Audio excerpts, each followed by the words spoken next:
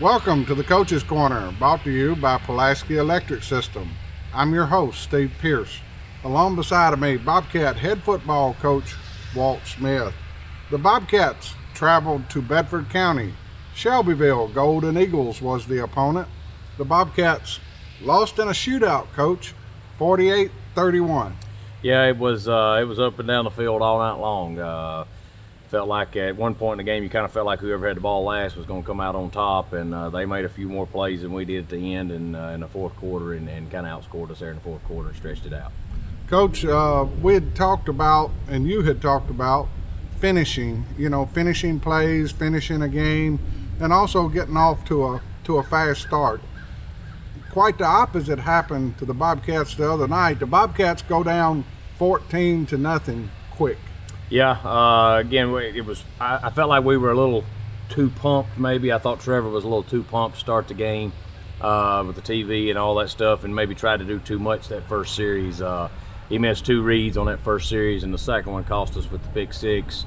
Uh, and then defensively, we just didn't get lined up right uh, on their second play from scrimmage, and they went the distance. Uh, but one good thing about it, I thought we bounced back, you know, and we were able to take the lead 17 to 14, kind of erase that. But again, I, it's just uh, you know, it's stuff you shake your head at. We're, we're doing things to try to get ready. We're doing things all week on how to get it off the gate quick and things like that. And uh, for some reason, this this this year we just haven't been able to come out of the gate good, and uh, we've got to do a better job of that to get ready in practice to do that. And on Friday nights leading up to the game, we're going to change a few things and see if that helps us out. Coach, it was a seesaw battle the first half. Uh, you know, you called it just big play after big play on both sides of the ball. Yeah, uh, we, we, we got them in several third down and long situations, and they just seemed to always be able to convert. We didn't help them. We didn't help ourselves. Uh, you know, several times had a couple offsides penalties, had a couple blown uh, blown things here and there, but uh, just couldn't seem to get off the field on, on third down on defense. And uh, offensively, we'd move the ball, uh, but we had a couple three and outs that, that we never like to do. you know, even if you're not going to score, we want to move the ball and give that defense some rest. we had to we I think we ended up with three three and outs Friday night, which is way too many. Uh, but uh, you know, I felt like we made some plays offensively enough to, to st- keep us in the game. And uh, defense, they hats off to Shelbyville. They had a good game plan and exploited some things. Uh, Coach, the offensive line, I think without watching film, it looked like their best performance of the year. Uh, definitely, I, I felt like it was their best performance. Uh, I think Jordan Tucker was right at 200 yards. Not sure exactly on the numbers uh, exactly, but he he was close to 200 yards. I felt like it was by far their best performance against maybe the second best defensive line they'd faced all year uh, behind CPA there. But uh, uh, Shelbyville was not bad up front, and I felt like we did a really good job blocking on Friday night and got the run game going, and that just opened up more of the passing game. Uh, you know, again, offensively, I felt like, especially the first half, and, and uh, a lot of times in the second half, we only had three possessions in the second half, and uh, two of those went uh, for longer than 70 yard drives. So, uh, you know, it's it, it's one of those things we just got to get off field on, on defense a little bit more and uh, keep our field keep our defense off the field when we get the ball on offense. Going back to the first half, right before halftime, the Bobcats defensively sort of give up on a play that you think the quarterback's going out of bounds, but he didn't, and they score. And 40 something seconds left on the clock, the Bobcats come back and score. What what an exciting it, exchange! It, it was. Uh, you know, we, we, we had a bad play there at the end of the half and kind of let them get a cheap one on us. But uh, instead of hanging our heads, that was another thing I was really proud of them. Uh, instead of hanging our heads right there, we, we got the ball back in pretty decent field position, and Cameron just went and made two plays for us right there with pretty good throws from uh, Trevor. Uh, also, and uh, got us back to within three before the half. It was a big time, exciting finish of the halftime you alluded to it a little earlier. The Bobcats come out in the third quarter. Just a beautiful drive down the field. It took a lot of time off the clock. Uh, you know, and at that time you had to feel pretty good about your cats taking that drive and going all the way down the field and putting points on the board. Yeah, you know, at that, at that point they come out and score. It's 34-31 uh, with about six minutes to go in the third quarter there, three minutes to go in the third quarter there, and uh, we're kicking off for them. And uh, on that very next drive, we get them, and again, we get them in third and nine, and uh, they're able to get behind us a little bit and throw a, throw a ball up that we probably should have had an interception on. Uh, just uh, one of those fluke blown coverage things, and uh, they were able to score there. And then the very next possession, uh, we went three and out again, put our defense back on the field really quickly, and they were able. That's when they were able to jump out on us. Coach, each week you look at an opponent, and just because somebody else plays a particular team a certain way, it's all about matchups and how you match up with a team. Defensively, uh, you're going to make a few changes. You, in the back of your mind, is there some things you want to do a little different personnel-wise next week? Yeah, we're going to do some things uh, personnel-wise. We are going to make a few changes. Uh, gonna gonna ask Lucas to play a little bit more on that side of the ball this week. Uh, just he's just too good not to. He's yeah, he's gonna make him tired. Uh, you know, and he's going to have to rest some on offense a little bit, but he's just too good an athlete not to have out there on defense. Um, and then we're also going to, we felt like Shelbyville did a good job of getting us in the look they wanted uh, and, and, taking advantage of what they could out of that look. And we're going to do we're going to do a better job of uh, not getting in a look all the time against a certain set, uh, and we think that's going to help us also. You know, it's always it's like a chess match, coach. It is. You know, it's the coaching staffs. You you look at the game plans to start the game, and then you look at the changes at halftime.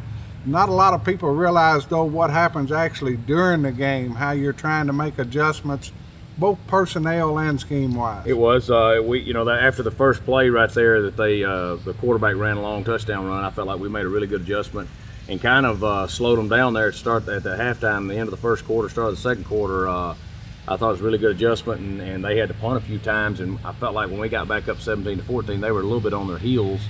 Uh, and then they kind of uh, found us a set. They gave us a tight end that they hadn't showed a whole lot of on film, and um, we're able to take advantage of the tight end with two receivers to one side and kind of hammer us a little bit running the ball right there. And uh, uh, got a really good running back. I think uh, Purdue offered him last week, uh, so he, you know, he's definitely a good football player, and uh, we didn't do a very good job tackling Friday night. Yeah, one thing you did notice, Coach, Shelbyville had a lot of athletes on the field. 5A school, and uh, just a really good program. They did, and they, Coach Hardy does a great job you know, I think this is his third year over there, and every year they've gotten better. Uh, since since our game with them last year, I think they've only lost two games. So uh, uh, in the last 12, they're they're 10 and two in their last 12. So they're they're a team that's going to definitely get better, and I think come playoff time, they're going to be a team to reckon with at 5A.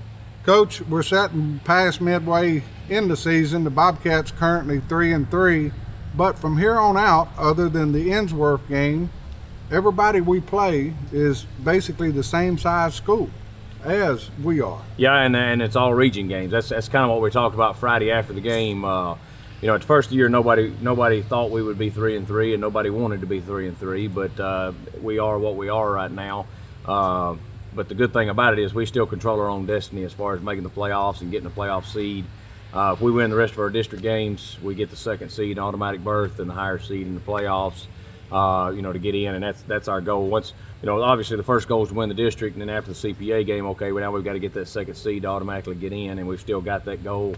It's still attainable, and all we've got to do is take care of our business. Yeah, you mentioned it, Coach. Do you think that sort of sunk into the players that realistically, if we take care of business within our district, come playoff time, we're setting the exact same spot that we were this time last year. Absolutely, you know, and we, we talk about uh, last year we talked about the schedule, and this year we've talked about the schedule, and it is a tough schedule. Uh, last year we were able to beat some of these bigger schools, and uh, it, you know, break here, break there, and we were able to beat them. Uh, and this year we haven't been able to do that, and in the first two games, but uh, with with Tullahoma Shelbyville in that District Eight uh, over there, but you know, again, it, it's still record wise, we're not, but as far as the district goes, we're sitting the same place we were this time last year uh, with the same goal still out there for us to get.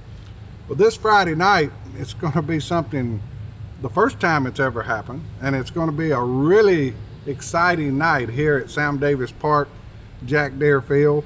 The opponent coming in is the Page Patriots, a 4A school just like Giles County, but coach, there's going to be a lot of pink in this stadium. Yeah, uh, Farm Bureau uh, come out and uh, offered us a deal. They were going to provide all the uniforms and uh, kind of a, a, charity event. They're going to uh, auction the uniforms off or sell the uniforms uh, to raise money for breast cancer awareness, and the, the kids are going to get to wear them. on Friday nights, and the cheerleaders will have the stuff on. Everybody in the stands are going to have stuff on. It just goes for a great cause, and it, again, it goes back to showing our kids that it, it's not just about football; it's about helping people also and becoming a, a good young man and a good a good supporter in the community. And uh, this is a good cause for us to support. Yeah, you know, it's going to be really exciting. The Bobcats dressed out in pink. They're coming back home for a three-game stretch here. that they'll be at Sam Davis Park, Jack Deere Field. Coach, is so much importance, as we alluded to earlier, about finishing in the district. You know, the opportunity to finish first or second. It all starts this Friday night. It, it does, you know, and again, it goes back to uh, we, we've got to do a better job finishing. Uh, we've got to do a better job finishing in practice. We've got to do a better job finishing um, in the week. Then we got to do a better job finishing on Friday nights, individually on the play, individually on the drives, and then overall in the game. We've got to do a better job finishing, uh, and it, and it goes it goes to it starts this Friday night with uh, with the first region game, district game, however you want to call it, uh, for these next three district games with Ensworth sandwiched in between there that, that we've got to take care of business. Let's talk a little bit about Page, Coach. What do you see offensively from the Patriots? Uh, they're pretty similar to the Pages of the past. Uh, they, they they lost a quarterback who'd been a four-year starter uh, last year, but they've got a kid that's come in. I think he's about six six, uh, really big, tall kid, pretty good, strong arm. Uh, not quite as good a runner as the Mizell kid was last year, but throws it really well. Uh, they look really similar on offense to what they've been in the past. They're going to spread you out and throw the ball all over the place, screens, draws, uh, you know, trying to get the running back on the edge. Um, and defensively, I, I think uh, one of their older coaches, Jack Daniels, is back as defense coordinator, and uh, they're going to be similar to what a lot of people are. They're going to be a 4-4 cover three a lot, uh, and every once in a while jump into cover two uh, against people that throw the ball a lot. Coach, let's talk about the special teams. What do you see in Page? Uh, well, I, I, I, feel like uh, we've gotten better. Uh, obviously, the first year we didn't really start off real well on special teams, but I felt like we've gotten better every week. Our coverage has gotten better.